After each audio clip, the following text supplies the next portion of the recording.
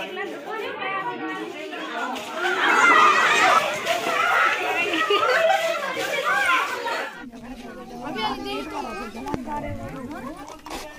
तो आवाज़ है सुना तो कल दिखो ना तो नहीं बात हाँ और ज़्यादा खा लो और यार अरे अरे भाई तो आओ कल दिखो ना बाबा का वाले एक दो को कमी करना अरे ये तो ज़्यादा वाले लपटी ले लपटी ले यार नहीं वीडियो करना तेरे क्या आओ हेलो एक बार फिर से मैं स्नैक सेवर सलमान पठान और मैं नरवर से कस्बा में पहुँचा हूँ, जहाँ पर एक ये कस्बा में कुशवा जी का घर है और जहाँ पर एक कोबरा है जो चूहे को खाकर बैठा हुआ है और काफ़ी बड़ा चूहा है उसके साइज़ से। और देखिए, कितना भी बड़ा कोबरा हो, कितना ही बड़ा सांप हो, लेकिन अपने साइज़ से दुगना चीज़ को वो आसानी से अपना भोजन बना लेते हैं। अब अंदर जाकर देखते हैं कि आखिर कौन सा कोबरा है। इंडियन रैप कोबरा है इंडियन स्पेक्टिकल कोबरा है। किसने कॉल किया था मेरे को? क्या नाम है? देखिए अंकुर कुशवाहा जी ने कॉल किया और इनके घर पर एक सांप है।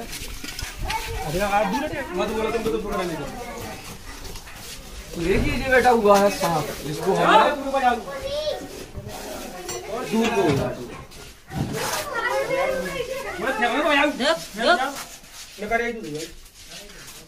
वो फंदार है गंगा से नांगे ने भी जाने दिया वो पर बेची वो मत जा ये इंडियन स्टेटिकल कोबरा है। और ये कोबरा चार साल की इसकी उम्र लगभग है। और ये एक चूहे को आसानी से अपना शिकार बनाए बैठा है। शांत हो जाओ चुप जा और एक चूहे को आसानी के साथ में अपना शिकार बना के ये बैठा हुआ है। और मैं आपको ये बता दूँ कि ये सांप कोई सा भी हो। चुप हो जाए एक मिनट के लिए सब। दे सांप कोई सा भी हो अपने साइज़ से, अपने मुँह के साइज़ से दुगना, तिगना वो भोजन ली जाता है। तो आप देख सकते हो इसके पेट में, दूर से इसके पेट में एक खतर, एक चूहा है और एक ये आसानी से अपने साइज़ से कितने मोटे चूहे को खा गई है। अब इसको हम बाहर निकालेंगे और इससे जो चूहे को हम बाहर निकलवाएँगे इसीलिए लास्ट तक वीडियो को देखना है किस तरीके चूहा बाहर निकालेगा। हट जाओ यहाँ से नहीं हट जाओ अब लाएँगे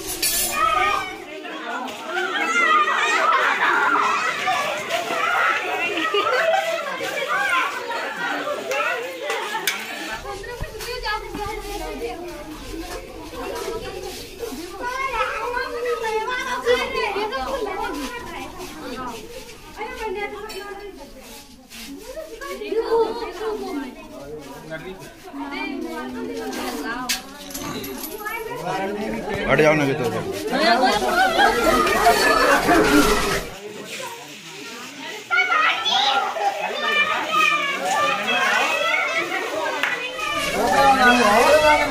नागिन नहीं है नाग है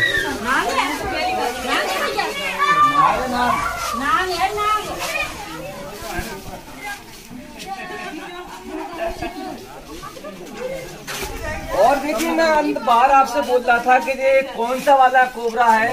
ये इंडियन रैप कोबरा है दोस्तों, ये इंडियन स्पेक्टिकल कोबरा नहीं है।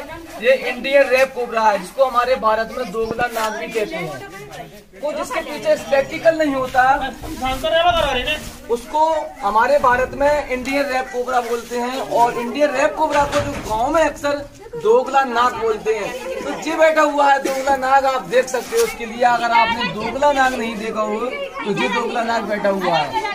इसको दोगला नाग इसीलिए बोलते हैं कि इसके पीछे स्पेक्टिकल का निशान नहीं है। ये इंडियन स्पेक्टिकल कोबरा नहीं है, और ये काफ़ी गुस्से का तेज होता है दोस्तों। ये एक ही जगह को बार बार दो तीन दो तीन बार काट लेता है। काफ़ी गुस्से का तेज होता है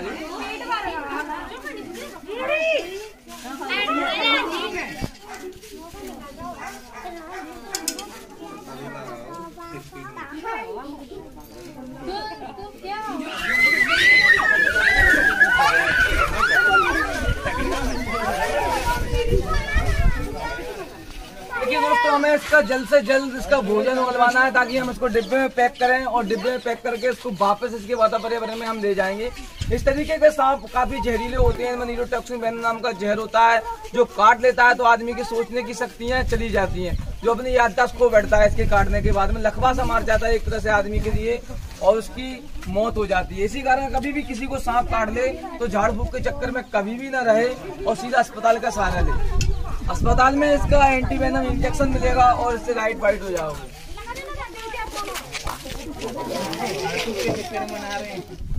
उससे होता है।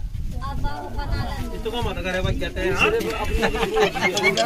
ये देख रहा क्या देख रहा नहीं, मुँह दादा है। बेटा दूर को भीतर को गया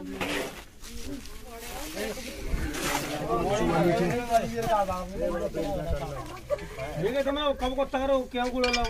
बस अब निकाले वालो थोड़ी देर में।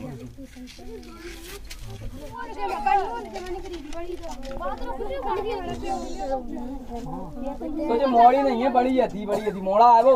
दोस्तों ये जितना ये उड़ता है ना ये डराने की कोशिश करता है कि मेरे करीब ना हो ताकि मैं ताकि बहुत खतरनाक हूँ। बड़ा होकर अक्सर दिखाता है लोगों के लिए ताकि कोई इसके करीब ना आए। और एक आवाज़ निकालता है फुसकार की ये जानबूझ के लोगों को नहीं काटते हैं दोस्तों। अक्सर लोग अगर इसके आसपास भी होगा तो ये फन उठाकर डरा देगा, उसके लिए उसको चेतावनी कर दे देगा ताकि ये वहाँ से भाग जाए दूसरा आदमी। और बहुत ही कम मात्रा में ये सांप काटते हैं, जब ये दबस पे आ जाती हैं तब, वरना नहीं काटते। घरों के अंदर कई सालों से रहते हैं, लेकिन हमारी नज़र नहीं पड़ती। जिस दिन हमारी नज़र पड़ जाती है, उस दिन हमको पता पड़ता है कि घर में सांप है।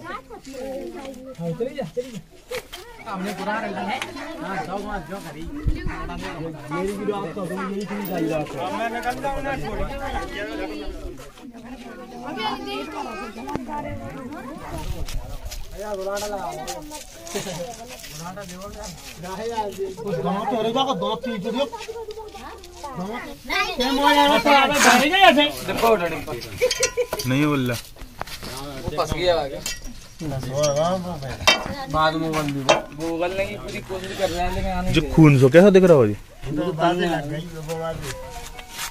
भेड़ के यहाँ जाओगे हाँ अबे तो पंद्रह दिन आप डुब्बा में रहे जी ताकि बाद में फिर जाएगा हाँ फॉरेस्ट में जाओ बच्चे ये कितनी बड़ी जानकार है ये पंद्रह दिन अंदर चौबीस घंटे ही रह जाए तो मुश्किल है वो। संजय तक ही छूट जाओ। हमारे पास में आज के सांप कल छूटेंगे कल के सांप परसों छूटेंगे एक दिन छोड़ के छूटते हैं हेलो ट्रेन में जाओ जी पूरा बाइक लटकी दी जगह ट्रेन में नहीं क्या बड़ा रहेगा क्या दिया मोबाइल में मोसी है पैसे